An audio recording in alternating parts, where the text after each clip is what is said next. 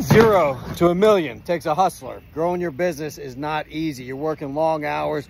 You're doing everything in your business. You're working QuickBooks. Uh, you're getting out here in the field. You're doing sales. You're doing everything. Now to go from 1 million to 3 million, that takes a president. Maybe you got some employees, you got some managers, you're starting to get some key people. But to go from 3 million to 10 million, that takes a CEO. That's a different mindset.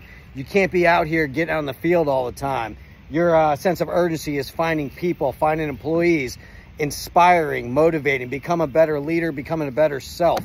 So with that said, you got to change your mindset. You got to be a hustler. Zero to a million, that's a hustler.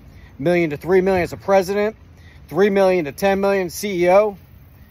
10 million to 30 million. I'll let you know when I get there.